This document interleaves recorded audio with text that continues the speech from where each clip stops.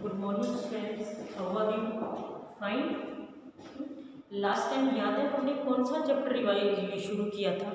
We have started a very a new and very interesting lesson that is light that you have read in your science seventh standard also seventh standard में भी आपने उसके बारे में पढ़ा था।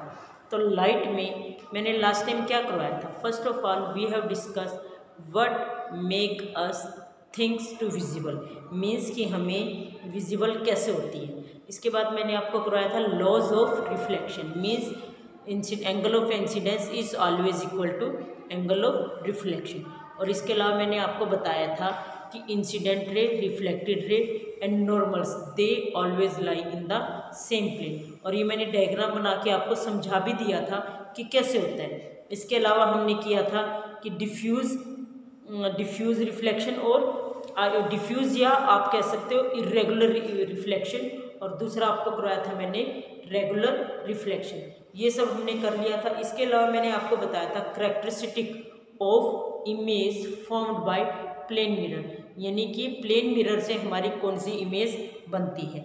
ठीक है? तो ये सब हमने कर लिया था। इसके अलावा I told you about lateral inversion lateral inversion के बाद भी आपको बताया था मैंने, ठीक है? तो now I told you about multiple reflection मैंने आपको बताया था ना कि आप किसी बार्बर शॉप में जाओ, वहाँ पे आप देखो, आप अपने हेयर कट्स करवा रहे हैं तो आपको अपना पीछे का पोर्शन तो नहीं नज़र आता तो बार्बर जो है आपको एक अलग से मिरर दिखाता है और आपको बैक उसमें नज़र आता है. क्यों? क्योंकि जब आपकी जो उससे बॉडी से रेस पहले ऐसे जाएँगी मिरर की तरफ़, फिर वो रिफ्लेक्ट बैक होके दोबारा फ्रंट वाले मिरर पे आ जाएँगी। तो इससे अपनी इमेज जो है बड़े आराम से देख सकते हो। तो इसको हम कहते हैं मल्टीपल इमेज ठीक है? अब multiple image have you seen multiple images कभी देखा है बेटा? मल्टीपल इमेजेस क्या होता है? अगर हम एक की बजाय दो या तीन मिरर यूज़ करें then we can see the multiple image अब मल्टीपल इमेजेस में क्या होता है? जैसे मान लो, हमने ये है, ये हमने दो मिरर लिए, ठीक है? और इनको एक तरह से राइट एंगल पे रख दिया हमने इस तरह से राइट एंगल पे रख दिया और हमने यहाँ पे एक पॉइंट रख दिया दोनों के सामने। तो हमें इसमें किसकी रिफ्लेक्शन नज़र आएगी? इसमें की तो we can see four or more point means हमें मल्टीपल इमेजेस नज़र आएगी। You can see it from activity 16.5 कि अगर आपने राइट एंगल पे रखा है 45 डिग्री सेल्सियस पे रखा है 60 डिग्री सेल्सियस पे रखा है 120 तो हम देख सकते हैं कि कितनी इमेजेस हमें नज़र आएगी। We can see more than one image ठीक है? तो ये होता है हमारा मल्टीपल रिफ्ले इमेजेस जो हमारी बनती है, वो हमारी मल्टीपल रिफ्लेक्शन की वजह से। इसके बाद हमारा एक इंस्ट्रूमेंट होता है kaleidoscope and also periscope periscope and kaleidoscope they both are, depend on they are based on the principle of multiple reflection kaleidoscope भी और periscope भी और they are very useful for us. Periscope है, जैसे हमें सब मेरिट सब merit में हमें वे को फाइंड आउट करने में हेल्प करता है। क्लेडिस्कोप क्लेडिस्कोप से हम मल्टीपल इमेजेस देख सकते हैं। इसमें क्या होता है? मान लो एक मिरर हमने इस तरह से लगाया, एक इस तरह से और तीसरा हमने इसके नीचे। एक तरह से थ्री मिरर्स हो जाएँगे। ठीक है? तो वो थ्री मिरर जो है, हम एक तरह से ट्रैंगल की फॉर्म में बनाएँगे। ट्रैंगल की फॉर्म में बना के इसको हम एक थिक कार्डबोर्ड से कवर कर देंगे। ये हो गया हमारा थिक कार्डबोर्ड अब इस थिक कार्डबोर्ड से हम कवर कर देंगे। अब इसकी एक साइड पे तो हम यहाँ पे एक ग्लास रखेंगे। मतलब ग्लास यहाँ पे मिरर से इसको कवर करेंगे। मिरर से कवर क्यों करेंगे? ताकि reflection of light can take place और इधर की साइड भी हम कवर कर देंगे। लेकिन हम उसमें एक छोटा सा होल रखेंगे, ठीक है? छोटा सा होल रखेंगे और यहाँ पे इसको कवर करने से पहले हम ब्रोकन ब्रोकन बैंगल्स और इसके अलावा कुछ बीड्स वो इसके अंदर डाल देंगे। तो हम जब भी इस होल से देखेंगे तो we can see many beautiful pattern many beautiful images मतलब बीड्स है या जो आपकी बैंगल्स हैं उनका ब्यूटीफुल पैटर्न्स या ब्यूटीफुल इमेजेस आप देख सकते हैं, ठीक है? तो और सबसे बड़ी बात, जितनी बार हम इसमें होल में से देखेंगे, उतनी ही बार हमें एक नई इमेज नज़र आएगी। मतलब ये एक बड़ी सरप्राइजिंग बात है कि बार बार हमें अलग अलग इमेजेस नज़र आएगी। तो ये था हमारा एग्ज़ाम्पल ऑफ़ मल्टीपल रिफ्लेक्शन ठीक है? इसके अलावा हमारा होता है डिस्पर्सन ऑफ़ लाइट डिस्पर्सन क्या होता है? Dispersion mean splitting means light का स्प्लिट हो जाना तो that is called as splitting have you seen rainbow rainbow कब बनता है? कभी नोट किए? रेनबो जो है हमारा तब बनता है जब एक बारिश आ रही है और बारिश एकदम से रुक जाती है। लेकिन उसमें छोटी छोटी बूंदें small droplets float in the atmosphere लेकिन उसके लिए दूसरी कंडीशन क्या होनी चाहिए? कि जो सनलाइट है मतलब एकदम से धूप निकल जानी चाहिए। मीन्स कि जब बारिश आई है और बारिश के एकदम बाद छोटी छोटी पानी की बूंदें हमारे एटमोसफियर में फ्लोट कर रही हैं, तब उस पर मतलब अचानक से धूप निकला है तो क्या होता है? जो सनलाइट है, जो वो छोटी छोटी ड्रॉपलेट्स फॉर एग्ज़ाम्पल हमारी छोटी छोटी ड्रॉपलेट्स तो जो सनलाइट है, जब वो इस छोटी सी ड्रॉपलेट्स में आएँगी तो it will split into seven colours तो that seven colour is called as rainbow उसी से हमारा रेनबो बनता है। और उसको मतलब rainbow it is made up of seven colour उसको हम कैसे लर्न कर सकते हैं? विप्योर से V I B G Y O R VIBGYOR क्या होता है? विप्योर यानी violet indigo blue green yellow orange and red तो इस तरह से ये सेवन कलर्स उसमें बनते हैं।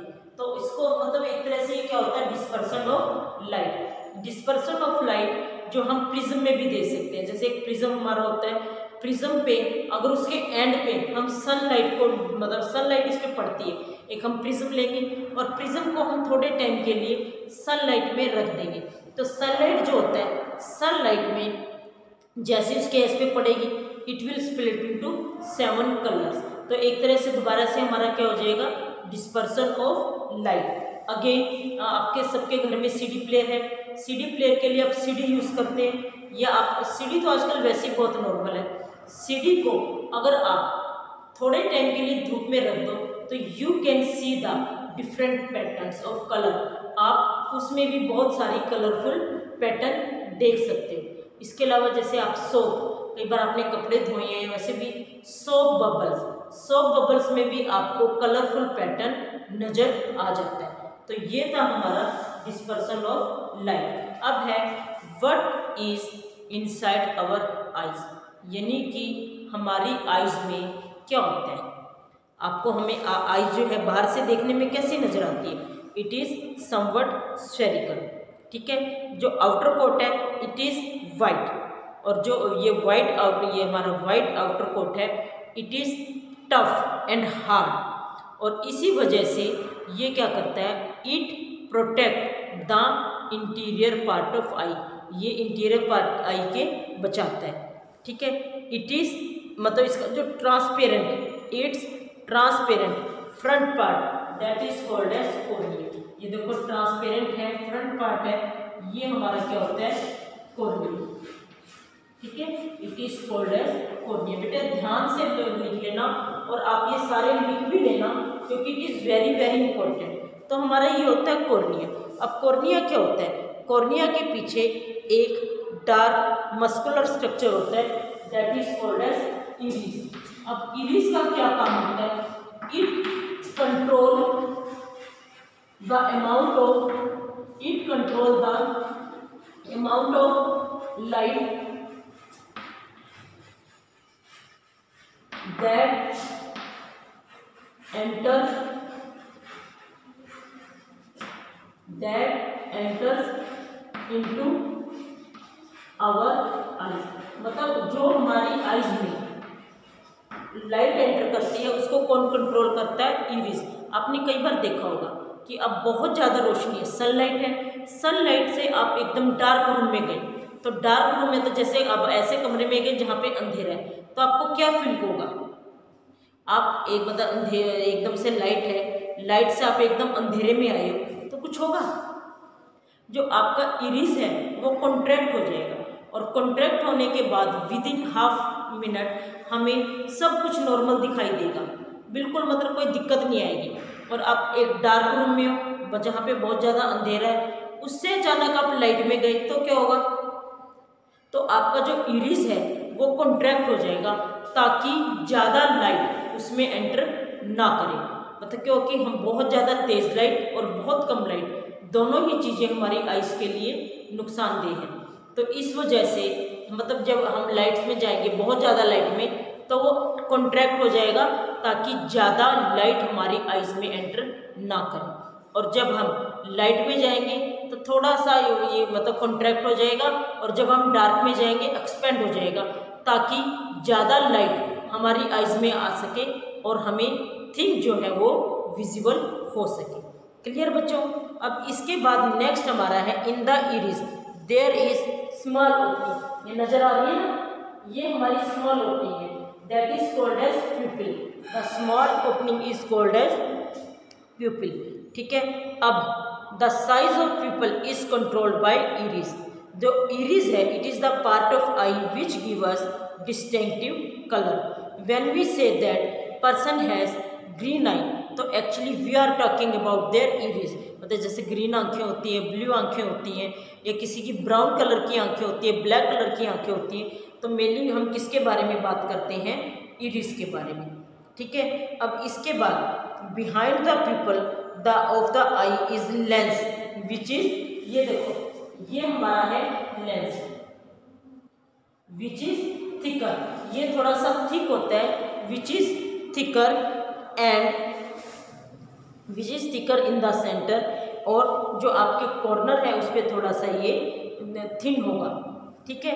The lens focus light on the back of eye और इसको हम कहते हैं रेटिना ये हमारा रेटिना है और जो हमारी इमेज है, जो भी हम कुछ सब्जेक्ट देखते हैं, उसकी इमेज हमारे पे कहाँ बनती है? रेटिना पे। तो retina contain several nerve cell ठीक है? Sensation felt by nerve cell are then transmitted to the brain through the optic nerve अब उसमें दो काइंड के सेल होते हैं। एक तो हमारे होते हैं कौन सेल ठीक है? एक तो हमारे होते हैं कौन सेल और दूसरा होते हैं हमारे रोड सेल ये बेटा सेल भी आपको पता होनी चाहिए। कौन सेल और दूसरा हमारे क्या होते हैं? रोड सेल अब कौन सेल अब सी फॉर कौन सी फॉर कलर्स मतलब ये कलर्स के लिए होते हैं मतलब हमें कलर्स को विजिबल बनाते हैं। और जो रोड सेल होते हैं, वो एक तरह से जो रोड सेल होते हैं they have sensitive to dim light dim light के लिए बहुत ज़्यादा ये सेंसिटिव होती है। और जो कौन सेल है they are sensitive to bright light मतलब ये किसके लिए सेंसिटिव है? Mainly bright light they are sensitive to bright light और जो आपके रोड सेल है they are sensitive to dim light ठीक है? तो ये भी बेटा आपको पता है, कौन जो है, ये सेंस करते हैं कलर को at the junction of optic nerve and the retina there are no sensory cell no vision तो उस स्पॉट्स को हम बोलते हैं blind spot that spot is called as blind spot ठीक है?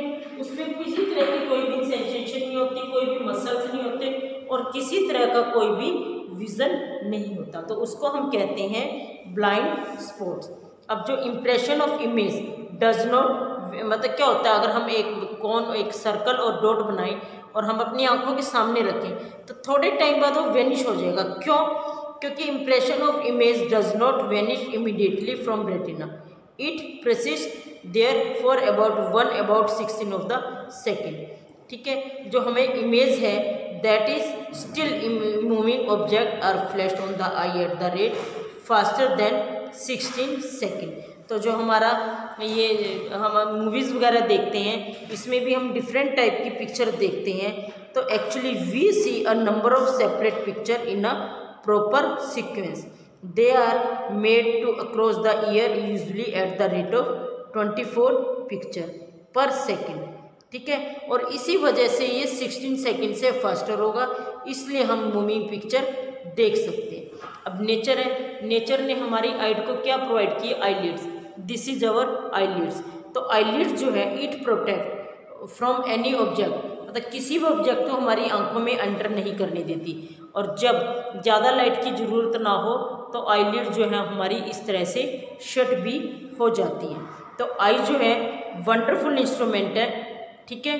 अब it can see distinct really object near by अब देखो, अगर हम, अब मैं अपनी बुक को इतने पास रख लूँ मैं पढ़ने और आप भी करके देखना you are able you are not able to read तो इसके लिए एक प्रॉपर डिस्टेंस होनी चाहिए। जैसे अब मैंने अपनी आइज़ को यहाँ रखा, फिर थोड़ा सा इधर रखा, इधर।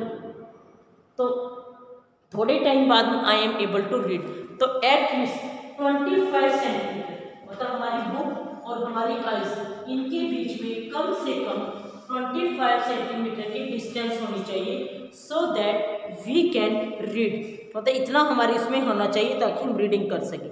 सम प्रश्न अब कुछ प्रश्न ऐसे होते हैं जो कि पास की चीज़ें आसा, आसानी से देख लेते हैं लेकिन उनको दूर की चीज़ नहीं दिखाई देती। मोस्टली बच्चों में ये होता है। और कुछ ऐसे होते हैं जिनको पास की चीज़ें नहीं दिखाई देती और दूर की चीज़ें दिखाई देती है। ये आफ्टर फोर्टी ईयर्स के बाद की प्रॉब्लम है कि हमें दूर की चीज़ें तो नज़र आ रही है लेकिन पास की चीज़ें हमें नज़र नहीं आ रही। ठीक है? तो इसलिए हम इसमें फिर क्या करते हैं? जो स्पेक्स लगाते हैं स्पेक्स में हमारे लेंसेज होते हैं। जैसे अगर हमारे पास का हमें ठीक से नज़र आता है और दूर का नहीं नज़र आता ठीक है? तो नॉर्मली हम अगर हमारे पास का हमें ठीक से नज़र आ जाए और दूर का ना नज़र आए तो हम कनकेव लेंस लगाते हैं। और हमें अगर दूर का नज़र आए और पास का नज़र ना आए तो मोल मेनली हम अपने स्पेक्स में कन्वेक्स लेंस यूज़ करते हैं।